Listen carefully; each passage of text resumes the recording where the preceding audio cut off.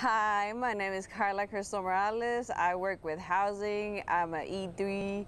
Uh, I, this is in honor of the Navy's 239th anniversary. I want to thank my family and friends for their support in my naval career.